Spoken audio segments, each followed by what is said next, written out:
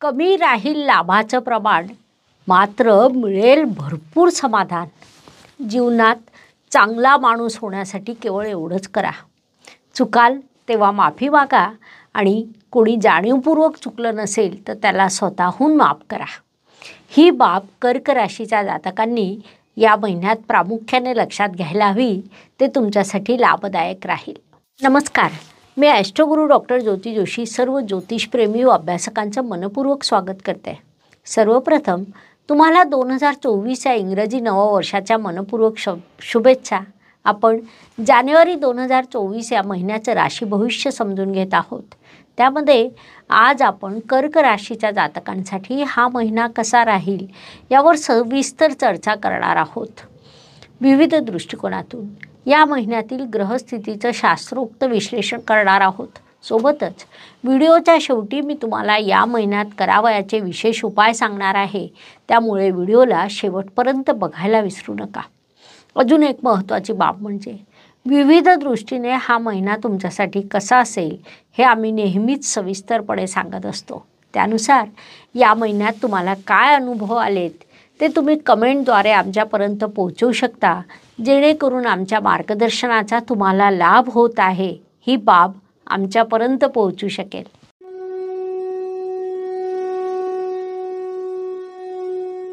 व्यक्तिमत्वाच्या दृष्टीने विचार केला असता या महिन्यात कर्क राशीच्या पत्रिकेतील अर्थत्रिकोण अत्यंत प्रबळ झालेला आहे. म्हणजे अर्थप्राप्तीवर अनेक आघाड्यांवर प्रयत्न केले जाणे त्यासाठी विविध उपक्रम राबवणं यासारख्या गोष्टी कर्कजातक करणार आहेत. त्यानुसार या काळात तुमचं व्यक्तिमत्व विकसित होणार आहे. थोडक्यात हा महिना तुमच्या व्यक्तिमत्वाला समृद्ध व संपन्न करणारा राहील म्हणून या काळाचा सदुपयोग करा. दहन कुटुंब वाणी या दृष्टीने विचार केला असता कर्क राशींसाठी रविदेवांची स्थिती महत्त्वाची ठरते कारण ते तुमचे धनेश आहेत. रविदेव या काळात तुमच्या षष्ठ स्थानातून प्रवास करीत आहेत. महत्त्वपूर्ण बाब म्हणजे पत्रिकेतील षष्ठ स्थान त्यांना मानवतं. विशेष बाब म्हणजे तुमच्या राशीसाठी राजयोगकारक असलेल्या मंगळदेवांसह तिथे विराजमान आहेत. ही बाब तुमच्यासाठी अत्यंत सकारात्मक स्थिती म्हणता येईल. अर्थात त्याचा लाभ तुम्हाला धनप्राप्तीसाठी होईल. सोबतच कुटुंबवृद्धी देखील घडून येईल. गुरुदेवांची दृष्टी देखील तुमच्या धनस्थानावर आहे.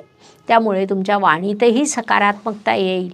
थोडक्यात या सर्व दृष्टीने हा महिना तुमच्यासाठी लाभदायक म्हणता येईल. त्याचा पुरेपूर उपयोग करून घ्यावा.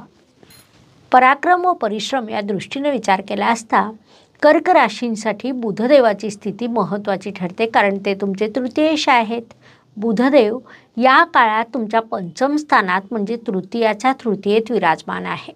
त्यांची ही स्थिती अत्यंत शुभ म्हणता येईल. पत्रिकेतील पंचम स्थान हे नवनिर्मितीचं स्थान म्हणून ओळखलं जातं. त्यामुळे बुधदेवाचे अत्यंत शुभ प्रभाव तुम्हाला प्राप्त होतील.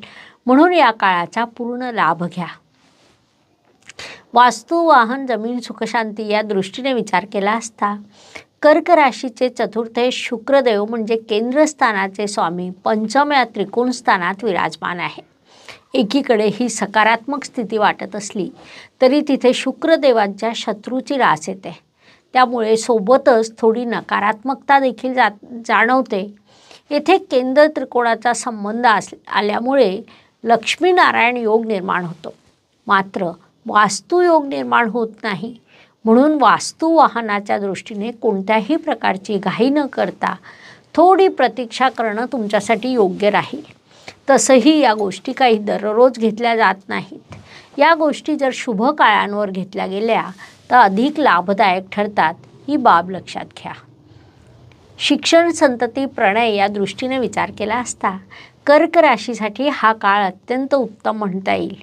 विशेषत फार्मसी क्षेत्रातील विद्यार्थ्यांना या काळात खूप मोठं यश प्राप्त होऊ शकतं.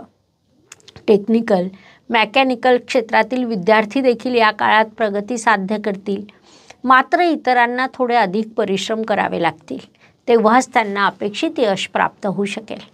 तुमची संतती आज्ञाधारकपणे वागेल कर्तृत्व गाजवेल कदाचित तुमच्या बोलण्याकडे दुर्लक्ष करतील. म्हणून या काळात त्यांना यश मिळणार आहे. म्हणून त्यांना तुम्ही प्रोत्साहन द्या. थोडक्यात या सर्व दृष्टीने हा महिना तुमच्यासाठी उत्तम म्हणता येईल. आरोग्य कर्ज स्पर्धक हितशत्रू या दृष्टीने विचार केला असता जातकांसाठी हा महिना उत्तम आरोग्याचा आहे असं आपण म्हणू शकतो. ज्यांना कर्जाची आवश्यकता असेल त्यांना ते प्राप्त होईल. मात्र अत्यंत आवश्यक असल्याशिवाय कर्जाचा विचार करू नये. हितशत्रूंवर तुम्ही विजय मिळवणार आहात. स्पर्धेत परिश्रम करा यश तुम्हाला नक्कीच मिळेल. थोडक्यात या सर्व दृष्टीने हा महिना तुमच्यासाठी उत्तम व शुभ म्हणता येईल. नोकरी व व्यवसाय या दृष्टीने विचार केला असता जे कर्क जातक नोकरी करत आहेत त्यांच्यासाठी हा महिना मोठ्या कर्तृत्वाचा म्हणता येईल. तुमच्यासाठी प्रमोशनच्या संधी या काळात निर्माण होणार आहेत. सोबत काम करणाऱ्या सहकार्यांचं सहकार्य तर तुम्हाला मिळणारच आहे. सोबत वरिष्ठांची एक दृष्टी देखील तुमच्यावर राहील. तसंच व्यावसायिक जातक देखील या काळात मोठी प्रगती करणार आहेत. व्यवसाय वृद्धीच्या लाभाच्या संधी तुमच्यासाठी निर्माण होणार आहेत. थोडक्यात नोकरी आणि व्यवसाय या दोन्ही आघाड्यांवर हा महिना तुमच्यासाठी लाभदायक म्हणता येईल. या काळाचा पूर्ण उपयोग करा. भाग्य व शुभसंकेत या दृष्टीने विचार केला असता कर्क राशीसाठी या महिन्यात अनेक शुभसंकेत निर्माण होणार आहेत. त्यात प्रामुख्याने सांगायचं झाल्यास तुमचे भाग्येश म्हणजे गुरुदेव होय ते दशमस्थानातून प्रवास करीत आहे. पत्रिकेतील दशमस्थान हे कर्मस्थान असतं. इथे नवम आणि दशम या दोन स्थानांचा संबंध झाल्यामुळे केंद्र त्रिकोण राजयोग निर्माण होत आहे. त्याला आपण नक लक्ष्मीनारायण योग असं म्हणतो. त्याचे शुभ परिणाम तुम्हाला प्राप्त होतील. मात्र इथे एक गंमत अशी आहे की गुरुदेवांवर अष्टमस्थानातून शनिदेवांची दृष्टी पडत आहे. त्यामुळे शुभ कार्य होत असताना भव्य कार्य होत असताना मध्येच विलंब अडथळा या दोन गोष्टी निर्माण होतील. मात्र शेवटचं यश हे निश्चितच तुमचं असेल म्हणून प्रयत्न सोडता कामा नये. कर्माच्या दृष्टीने विचार केला असता तुमच्या कर्मस्थानात गुरुदेव विराजमान आहेत. ते तुमच्या पत्रिकेसाठी षष्ट या अर्थत्रिकोणाचे आणि भाग्याचे स्वामी आहेत. असे गुरुदेव तुमच्या कर्मस्थानात विराजमान असल्यामुळे या काळात तुम्ही सुयोग्य कर्म करणार आहात. तुम्ही कर्मप्रधान राहणार आहात. बुद्धीने कार्य करण्याकडे तुमचं अधिक लक्ष असेल. त्यामुळे अर्थातच तुमच्यासाठी प्रगतीच्या वाटा निर्माण होतील. म्हणून या काळाचा लाभ घ्या.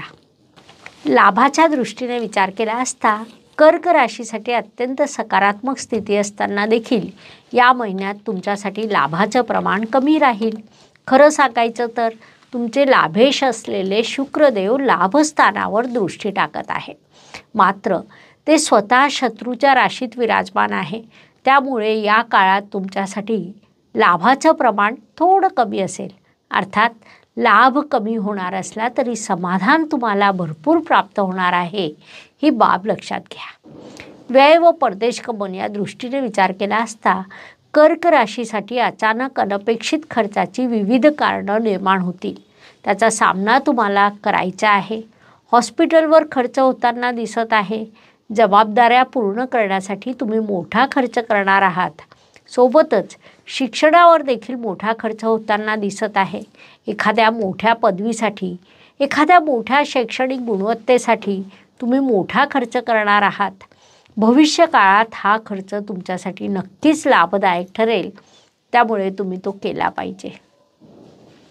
प्रत्येक दिवस प्रत्येकासाठी चांगला जात नाही. आयुष्य हे सुखदुःख आणि चढउतारांनी भरलेलं असतं. त्यानुसार महिन्यातील काही दिवस प्रत्येकासाठी शुभ काही दिवस तणावाचे संघर्षाचे जातात. आपण त्या काळात कसं वागतो यावरून आपलं यशापयश ठरतं. या दृष्टीने विचार केला असता या महिन्यात कर्क जातकांसाठी नऊ सतरा आणि सत्तावीस हे दिवस शुभ आहेत. म्हणून महत्त्वाची कामं पूर्ण करा. तर सात पंधरा आणि चोवीस हे दिवस तुमच्यासाठी अशुभ आहे.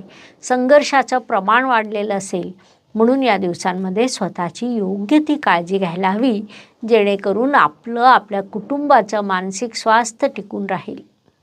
उपायांच्या दृष्टीने विचार केला असता ज्योतिषशास्त्रामध्ये खूप छोटे छोटे मात्र मोठा परिणाम करणारे उपाय सांगण्यात आले आहेत. अशुभ गोष्टींची अशुभता कमी करण्याचं शुभ गोष्टींची शुभता वाढवण्याचं सामर्थ्य त्यात असतं. त्यानुसार जानेवारी महिन्यातील उपायांचा विचार केला असता कर्क जातकांसाठी उपाय सुचवण्यात येत आहे की तुम्ही शनिवारी एका भांड्यामध्ये पाणी दूध साखर काळे तीळ आणि गंगाजळ भरून ठेवावे. त्यानंतर शनिदेवाच्या बीजमंत्राचा जाप करून ते सर्व पश्चिम दिशेला तोंड करून पिंपळाच्या झाडाला अर्पण करावं. हा उपाय केल्याने शनिदेवांच्या ढह्याचा त्रास कमी होतो म्हणून तो अवश्य करावा. अशा पद्धतीने मेष ते मीन प्रत्येक राशीसाठी जानेवारी दोन हजार चोवीस कसा राहील हे समजून सांगण्यासाठी आम्ही बारा व्हिडिओ तुमच्या चॅनलवर अपलोड केलेले आहे. लाईक शेअर सबस्क्राईब करा. धन्यवाद. शुभम भवतू. जय ज्योतिष. नमस्कार. शास्त्राचा अभ्यास करण्यासाठी माझी मराठीतून अकरा हिंदीतून दोन अशी पुस्तकं प्रकाशित झाली आहे. विशेष बाब म्हणजे मी स्वतः संशोधित केलेली ज्योती जोशी पद्धती अर्थात जे जे पद्धती या विषयावर स्वतंत्र ग्रंथ उपलब्ध आहे त्याचा देखील लाभ घ्यावा. यूट्यूबची कार्यप्रणाली ही मुख्यतः लाईक शेअर अँड सबस्क्राईबवर चालते.